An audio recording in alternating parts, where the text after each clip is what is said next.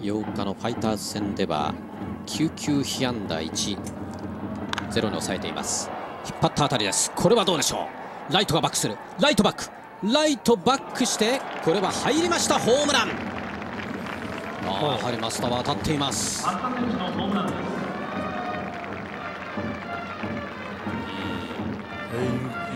いしましたね高めのボールね、え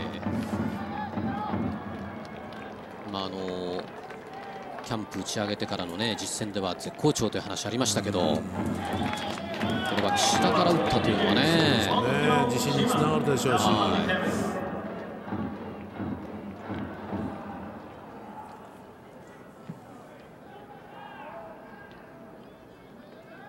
まあ、こういうシーンを見ちゃうと岡田監督とするとね、ちょっと手放して喜べないなっていう感じですよね。